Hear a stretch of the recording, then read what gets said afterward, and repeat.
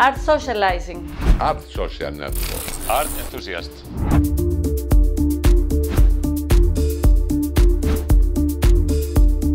Be seen, be heard. Get inspired.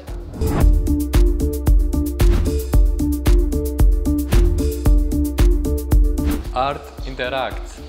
Build collaborations.